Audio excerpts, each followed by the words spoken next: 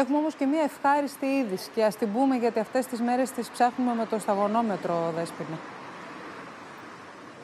Η ευχαριστή είδηση ότι μια ακόμα μητέρα θετική στον κορονοϊό γέννησε στο Αττικό Νοσοκομείο ένα αγοράκι το οποίο έχει καλή κλινική εικόνα. Αναμένουμε λοιπόν τα αποτελέσματα του τεστ. Ξεκινήσαμε από τη θετική είδηση. Πάμε να δούμε όμως τα πολλά και σημαντικά που είπε και σε αυτήν ε, την ε, ενημέρωση ο καθηγητής Σωτήρης Χιόντρα.